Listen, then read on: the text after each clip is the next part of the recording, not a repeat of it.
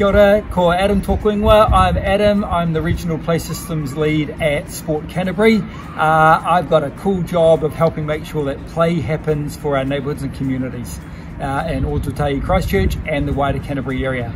We know that play is a real supporter of tamariki and whānau well-being. Um, it helps support uh, well people and it helps support well places.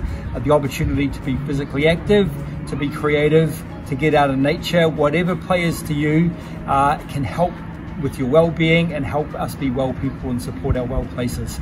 This coming Children's Day, uh, we really encourage you uh, to um, support your tamariki, to support your whānau, to get out and play, even if it's in your backyard, if it's around your neighbourhood and out in your community. You don't need much. You can probably find some stuff at home. Uh, I've got here a, a cardboard box with some pens, I've got a pan, we can probably use that as a bit of a tennis racket. We can hit a sock back and forwards to each other.